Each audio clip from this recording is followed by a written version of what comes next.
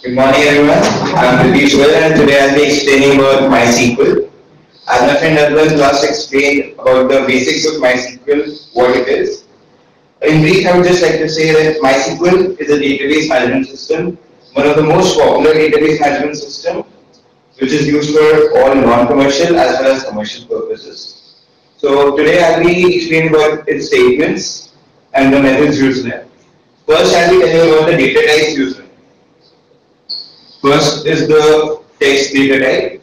In that we have char and varchar.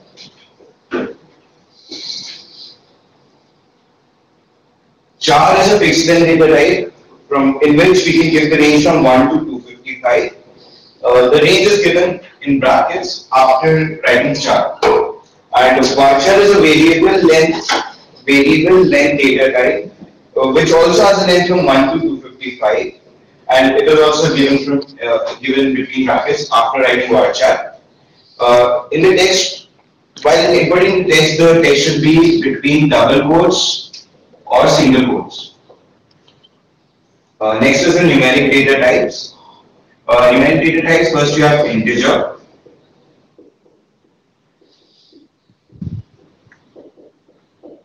In the integer data type, we can enter as much as 11 numbers, but not more than that. It is used only for entering numbers, no decimal points, nothing. And uh, next we have decimal type.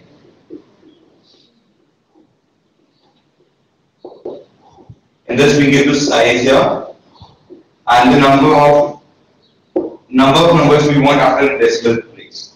In this, the size can be variable, it can be anything, whatever we want. And the next is the data type, uh, which gives the data in date format.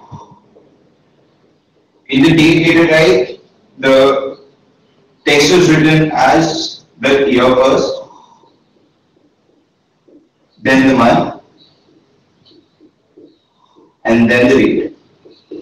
It is given between single quotes. Uh, next is time. It is used to input the time. Uh, it is entered as hours, minutes, and seconds between single quotes. Next, we will be studying about DDL and DML. DDL is data manipulation language and DDL is data definition language. Uh, data definition language is mainly used to define a table, a database, drop it, alter its structure, and mainly for the structural purposes. Uh, for in DDL, we have create database,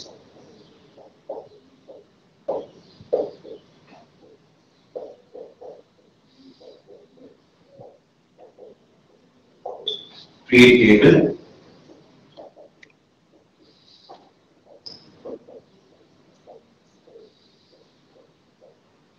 alter table,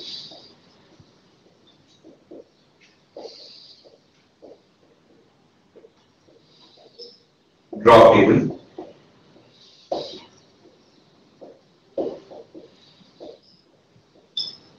in DML, select, update, insert into,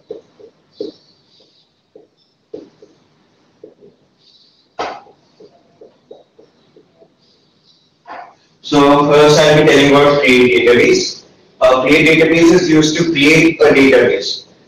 Database is something in which you have to create tables to store data. It is the main base of any any information that we want to store. So its syntax is like create database and the database name. Like if I want to name it Levin.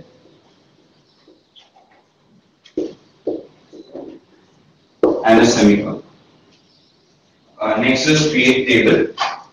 uh, creating a table mainly defines a table and defines a structure. The columns you want to it, they data types. It is mainly telling the telling the software that we want to create a table with these all columns with names and what all type of data we want to store in it. So syntax is like create table, the table name like students. And the column name. If I want to give the serial number, then integer here,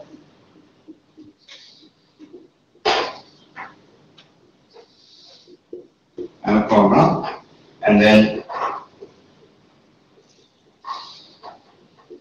name with varchar I get 30 and then we close the bracket and semicolons.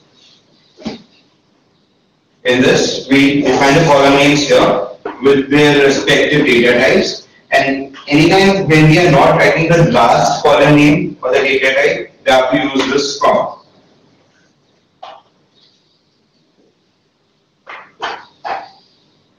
Next is alter table. Like we created a table with two columns. Now I want to add the third column. So I use I do it with using alter table. Alter table is like alter table. The table name.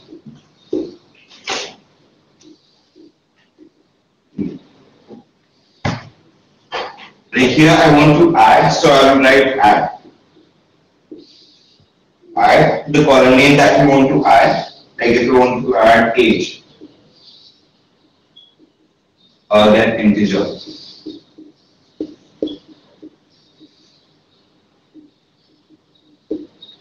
And close it. Now this will add another column to our table. Whichever table it is, we have to enter it here.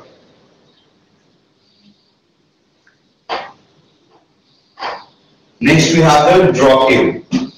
In drop table, it is used mainly to delete a table.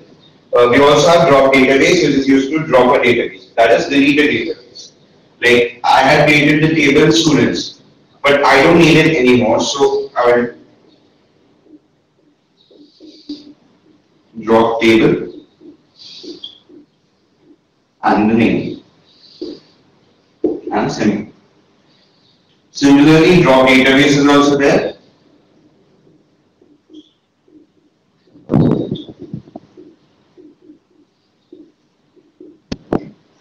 In this we enter the database that we want to delete and semicolon. Now I move on to the DML statements. First you have the select.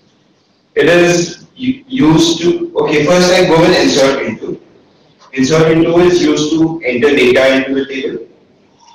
Like insert,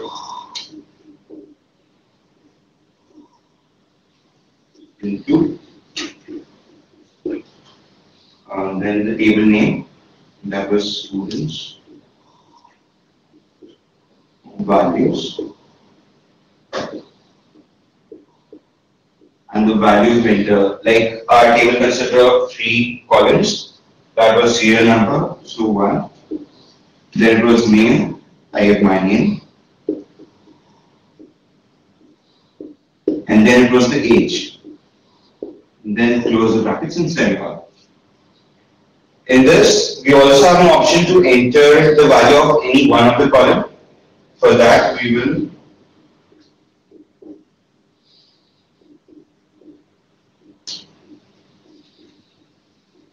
write the column name here. Like I just want to enter the serial number and name.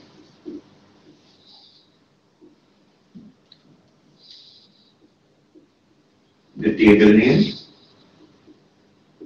values and I just here 2 and the name.